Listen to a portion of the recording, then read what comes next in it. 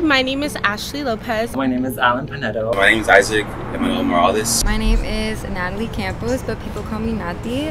I'm here from LA. I grew up in West Covina. My dad is from San Salvador, El Salvador, and my mom is from Mexico City, Mexico. I'm a psychology major.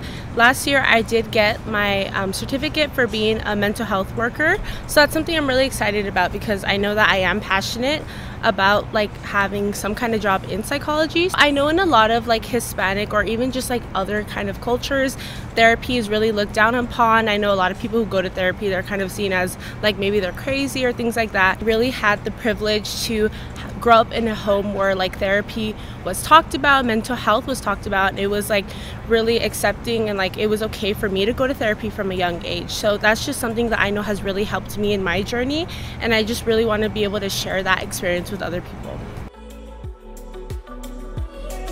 My parents are from Ameca, Jalisco, which is close to Guadalajara. I'm a marketing, fourth year marketing major. Growing up uh, in a Hispanic household, I grew up with the fear of like our parents embedding fear of credit cards, of credit scores. So not talking much about uh, finances. I know I had to kind of like start learning about finances, which is one, one of the reasons why I decided to get into business, becoming a financial coach and working with the financial sustainability program. We essentially work with uh, students when it comes to financial literacy. Recently, we did a budgeting workshop. We've done credit score workshops, credit card workshops. Again, just to the way I feel it, I feel like it's important is because, as I mentioned, you know, try to like bring that financial literacy to uh, my community here at Woodbury.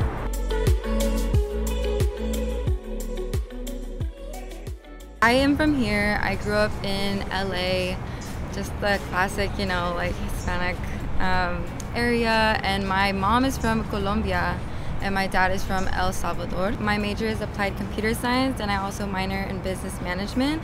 My mom has been very successful, so she was able to put me in a really good um, school, like K through 12. I joined computer science then, and I was basically told, and I quote, the men are talking.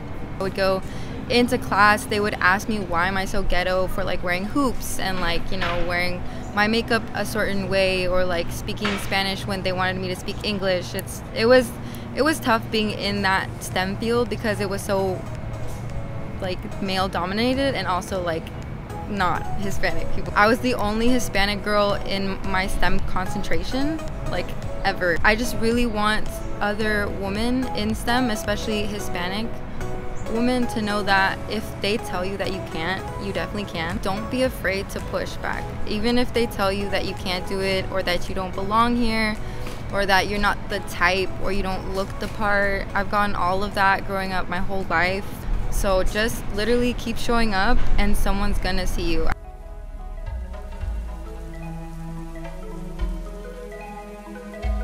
I'm a second year fashion design major. I was born here in Los Angeles. My parents are from Zacatecas, Mexico. Coming to school, it's, I, I guess I can say one of my biggest accomplishments and fulfilling my parents' dreams as well because like they came from Zacatecas with nothing and coming over here and working. I don't think I would say I'm paving a way. I would say I'm following a path that has been paved for me. And I'm contributing to that path. Just being here, studying, and knowing that I can have the education that I deserve and what my parents worked for is so great and so like heart fulfilling.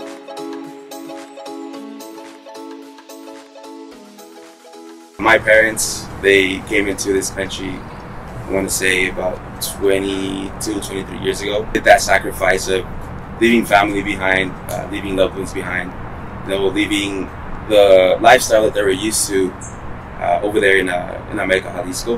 That sacrifice that they made, that kind of has pushed me to overcome any obstacle that's thrown, accomplish what they couldn't accomplish because I know some parents wanted to study, they wanted to go to school. To me, it's really important to be first gen. I have three younger siblings, and I know they're always looking up to me. And show my little brothers that with determination and uh, setting goals, anything is possible.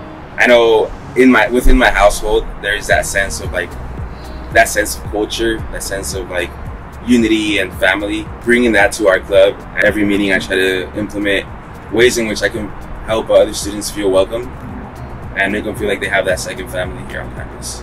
I think Hispanic Heritage Month is so important, and I think it's important to celebrate for anyone who's really like within the spectrum of like their culture. It's really difficult for me to like kind of associate myself like being Latina because I knew that I had broken Spanish and that my grammar wasn't proper. But I think just now that I'm getting older, acknowledging that you don't have to speak perfect Spanish or kind of fit this like stereotype to really identify as Latina. You don't have to fit a certain mold to be able to celebrate this month.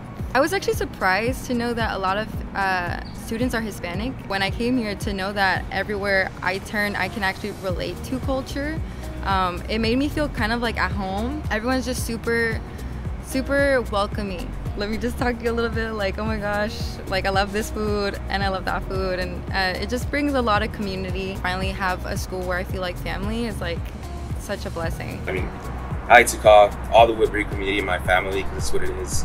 It's uh, essentially my second family.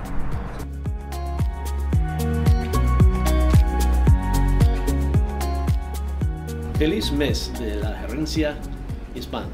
It's a pleasure to greet you and welcome you as we celebrate this Heritage Month. It's one that we really appreciate at Woodbury because that's who we are.